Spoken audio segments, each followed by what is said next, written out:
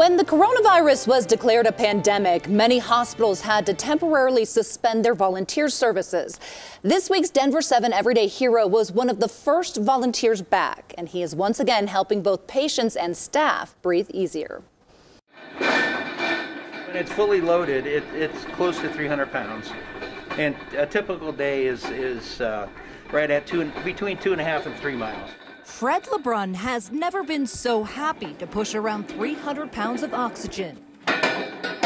It sure beats COVID lockdown. It's getting a little stir crazy, to be honest. You see, COVID forced Sky Ridge Medical Center to suspend its volunteer services program for six months. Fred, who refills oxygen tanks here three days a week, suddenly found himself with a lot of time on his hands. Got real good at housework, Yeah, uh huh.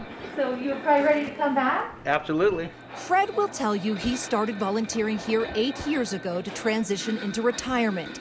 He stayed for the relationships and exercise. But those who know him will tell you he's one of a kind, just like his souped up oxygen cart. We actually worked with our respiratory therapy department to actually modify the cart, put bigger wheels on so it actually rolls much more easily. Talking about a person who's all in. Really one of the most popular people at Sky Ridge.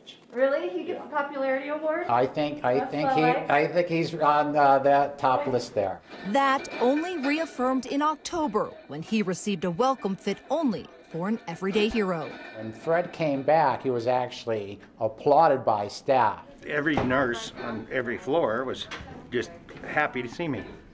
And if it wasn't for COVID, I think I would have got a lot of hugs. On behalf of Denver 7 and American Financing, we want to honor you as a Denver 7 Everyday Hero. Thank you. Congratulations. And a big congratulations to Fred there. And remember to join us at 9 o'clock on Christmas night for a 30 minute special tribute to the amazing everyday heroes of 2020. And in the meantime, if there is a hero in your community we should recognize, you can nominate them on our website, thedenverchannel.com slash hero.